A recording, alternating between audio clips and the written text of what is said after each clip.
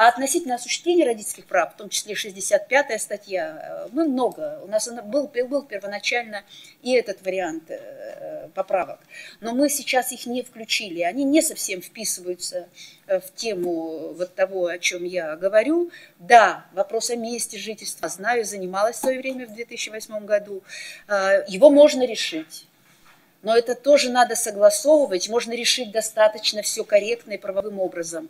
Но здесь э, достаточно большое количество, э, во власти очень много пап, мужчин.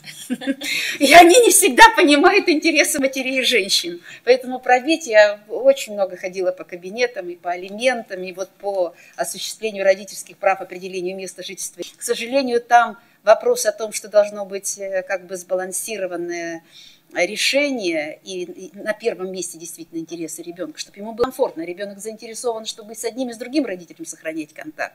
Ну, в этом его интерес. К сожалению, он э, часто не учитывается. Учитывается личный интерес одного из родителей. Это, в этом есть сложности, поэтому не удается пока поправить.